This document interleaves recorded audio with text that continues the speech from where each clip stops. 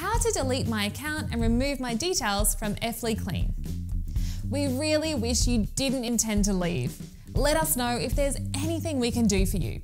Otherwise, just contact us at hello at effly.com.au with a request to delete your data, and we'll do that right away.